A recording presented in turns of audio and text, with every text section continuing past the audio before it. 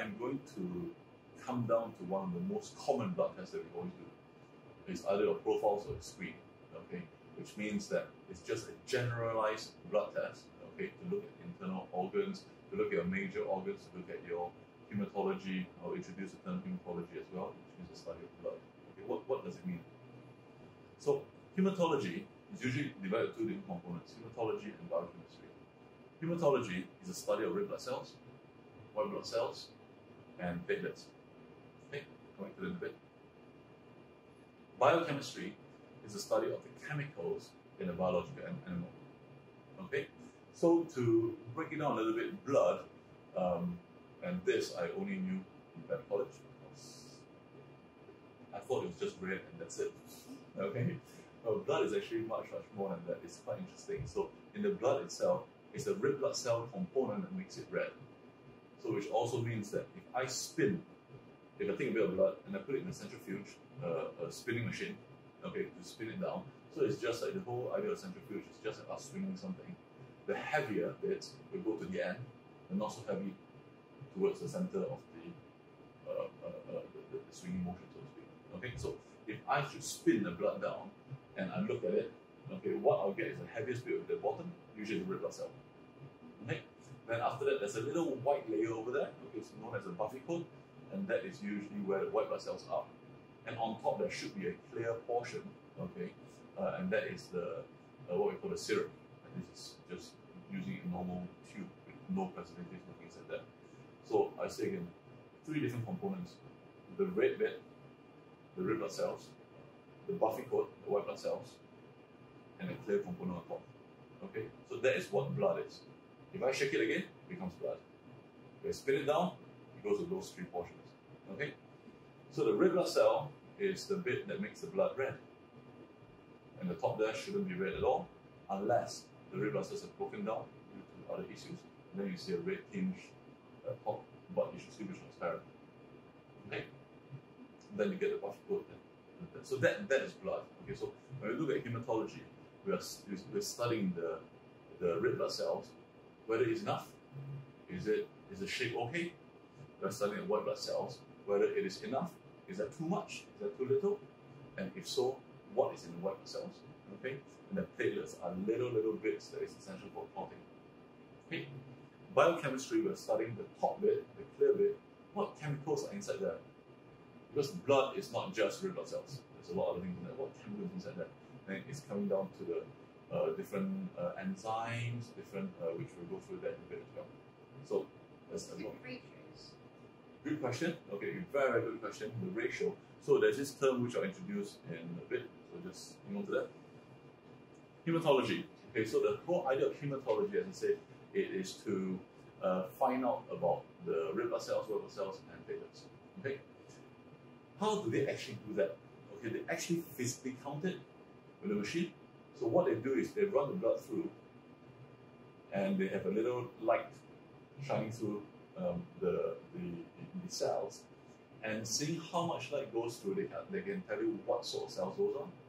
So they can actually count how many red blood cells in proportion and how many white blood cells in proportion. So they actually physically count it. So that is why if you have a bad sampling technique and the red blood cell is all damaged, the count is artificial low, uh, artificially lower so that's why they put something that makes. Okay, so they actually physically counted with a machine. Okay, um, and you using a light. Uh, it's not physically counted, but you know, using light, and, they, and that's how they count it. And sometimes that is also why, uh, in cats especially, the red blood cells they uh, tend, sorry, the platelets they tend to have platelet clumps. Okay, so they count it as one, even though there's like 50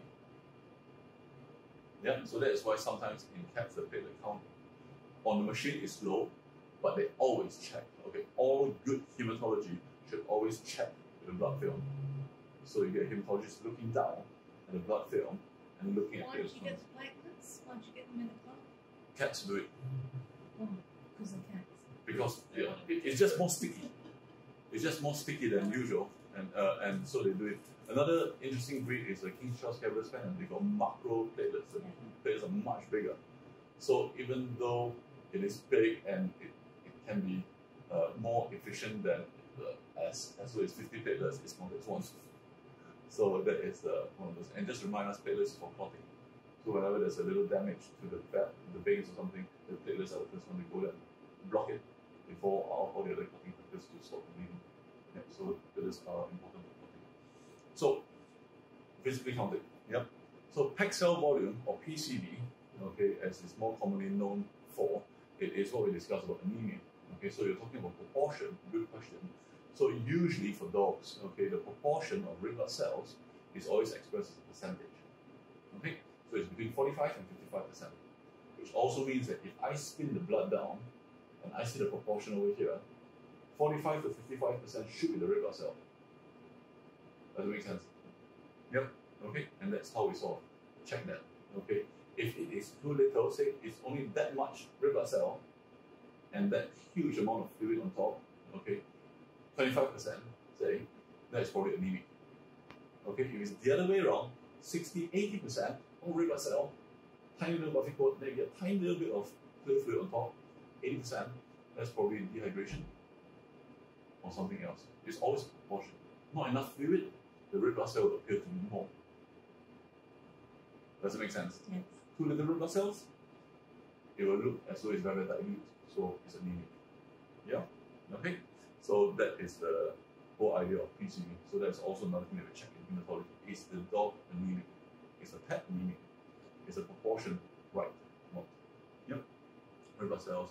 Um, white blood cells. Okay, so white blood cells are the little buffy coat. There are quite a few different white cells. Uh, I've only listed one of the more, which I feel is the more obvious important one. Okay, neutrophils, lymphocytes, eosinophils, and basophils. So for all these components, it's always looking whether it's too much or too little. Usually, there's always some. If it's too much, we'll ask ourselves why. If it's too little, we'll ask ourselves why as well. Yeah? Okay, so let's go through a little bit. Neutrophils is in charge of that. That's the biggest proportion what blood cells is usually neutrophils. It's uh, usually sort of talking about inflammation and or infection. So if you get an elevation of neutrophils, it will probably indicate that the body is producing more for a reason, inflammation and or infection. Yep. And the lymphocytes is the sort of blood cells that's more around. So that one is the one that is a little bit slower to respond. So if you get high neutrophils, okay, so it's indicating inflammation, infection. You get high lymphocytes, telling you it's probably ongoing for some time already. Because it's a bit slow to respond. Does that make sense? Yep. And sometimes in very acute infection, neutrophils drops all the way down because it's all been used up. Okay, then you, then, then you just get a bit of high lymphocyte going on, indicating that okay, there's active infection, and the animal is probably in trouble because it's used up all its neutrophils, the body isn't producing as much as it's being used for to fight off the inflammation and infection, usually infection. Yep. Okay. Uh, eosinophil is more for parasitic, so if you get lungworm, or you get any sort of parasites uh, uh, uh, involvement, you get uh, eosinophil going high. Basophil is a very small little cell which is very specific condition which I'm not too concerned about, but those are the three main things. And your technical term, you'll hear the word philia or penia, like neutrophilia means too much. Neutropenia means too little. Okay? Uh, eosinophilia, too much. Eosinopenia, too little. So those are common terms that we've met mainly also. Or too. Another thing that we look at in hematology that is also very uh, important is the platelets, as we discussed. So it affects the clotting ability. So if the, the platelets should be of a certain amount. If it is too little, you we will always check on the blood film whether that count is real or not. Don't and, and don't forget we are we are relying on machine. Relying machines. Okay, this is a a shot. So if on the blood film you actually cannot see any platelets like physically, that result is probably right. If on the blood film you see platelets or you see platelet clumps, then you know that okay, I'm not too concerned. This dog or cat is not going to be having any clotting issues because I can actually see the platelets, even though the machine tells me it's otherwise. Yeah. And um, if you have too little platelets, it's what we call thrombocytopenia. So that is also another term that uh, sometimes you're use. So uh, that's hematology.